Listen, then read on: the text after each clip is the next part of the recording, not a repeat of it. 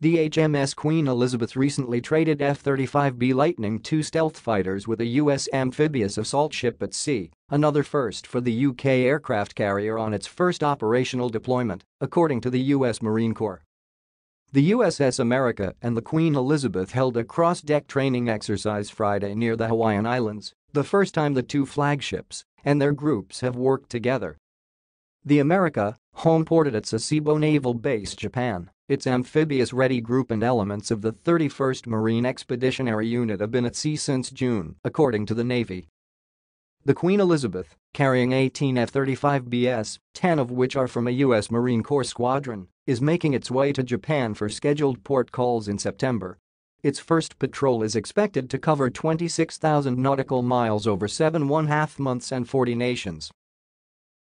As part of the Navy's large-scale exercise 2021, the Queen Elizabeth launched F-35Bs, built for short takeoffs and vertical landings, that the America recovered, reloaded, refueled, and relaunched, according to a Marine Corps press release Tuesday.